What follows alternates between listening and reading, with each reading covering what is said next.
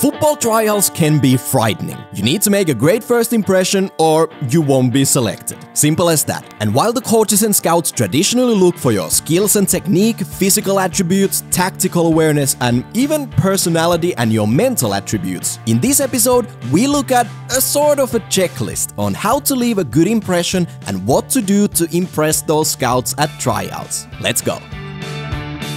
Number 1. Be well prepared. In short, being well prepared means being ready both mentally and physically, so make sure you've done all your normal preparation to the best of your ability. Now, oftentimes, not always, you'll be heading to tryouts at the very beginning of the season, before the start of the preseason. And this means you might want to reduce the time fooling around with your friends all summer and putting in the extra effort to be in the best physical shape possible. Look, you're heading to a trial to level up, perhaps even sign for a semi-professional team, so the pace and overall level will of course be higher than what you're used to. So be well prepared. And by the way, make sure you not only bring a pair of football boots, but also a pair of running shoes, in case the coach, for example, wants you to go for a run prior to training or do some gym work afterwards. Trust me, you don't want to be that guy who doesn't have running shoes when they are required. And lastly, whatever you do, do not show up late.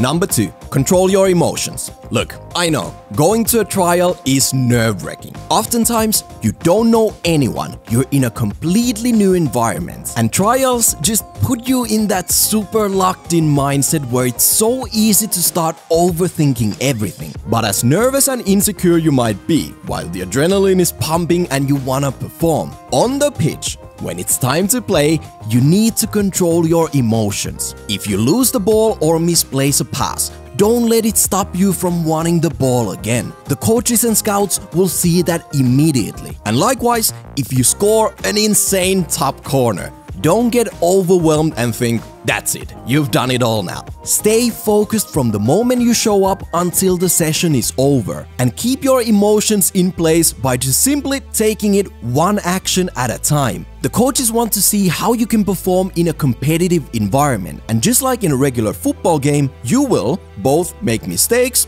and good plays. But it's how you react to either of those two that really makes an impact. So don't get carried away at any moment. Keep a balanced mindset even though the adrenaline is rushing and you wanna give it your all. Number 3. Express yourself. Okay, this is the most cliche thing any coach can ever say. Go out there and express yourself. But honestly, it's the shortest and most simple way of saying, look, show me what you got.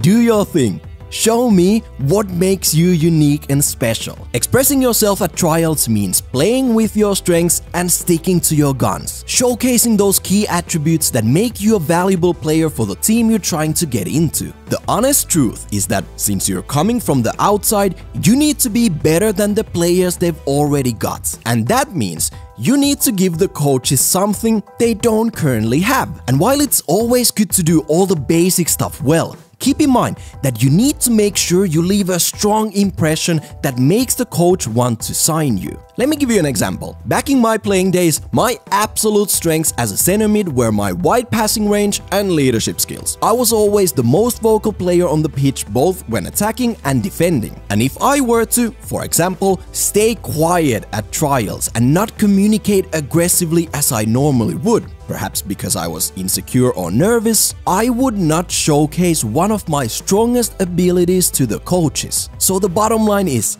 make sure to showcase all of your best elements because failing to do so will leave you disappointed and feeling like you let yourself down. Now, if it's then not good enough to get you selected, well, that's another story. But go out there and show the coaches what's special about you.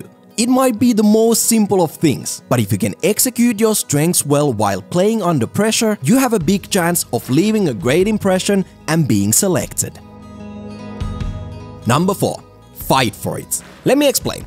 Trials are competitive, and depending on the nature of it, you're probably there to take someone else's place on the team. Actually, in a proper environment, every single day at the training ground is a chance for every single player to secure their spot in the starting 11. But especially at trials, You are the outsider looking to get in, so don't be surprised and get overly emotional if other players seem ice cold when you enter the dressing room and it's not a warm welcome with hugs and kisses. In the end, you are there to take their spot. And when it comes to the actual trials, play hard, fight for it, go in for the tackle, but of course, you don't want to harm anyone. Show not only the coaches, but also the players around you that you want this, you want to win, and you're gonna fight for it and make the team better. Look, football is insanely competitive, and you need to show that you're not gonna back down, and you're the one they should select. Remember, at trials, you have very limited time to impress, so don't waste one second of it. And while football is, of course, a team game, you are there as an individual trying to get a spot in the team, so fight for it. Now, as a last bonus tip, in the unfortunate scenario that you're not selected, if you honestly feel like you did great and don't understand why you didn't make the cut, ask the coach what was missing. Look, I know, after a major disappointment, your first instinct might be to just bounce immediately. But getting feedback will at least give you something to work on. In fact, as a footballer in general, being able to receive especially negative feedback is an absolutely great skill to have. To always look for ways to improve yourself and be open to hear what other people have to say. And if the coach can clearly articulate what was missing, who knows? Maybe next year, when you come back, you're gonna make the cut. Anyways, that wraps it up for today's episode. Chances are a lot of you guys will have trials this year, and like with anything in life, the first time is always the most nerve wracking. But show up well prepared, control your emotions, express yourself, and fight for it, and you're setting yourself up to perform at your best level. Let us know in the comments below which topics we should cover next, and make sure to hit that subscribe button to be notified every time we upload a new video. And with those words, I'm out.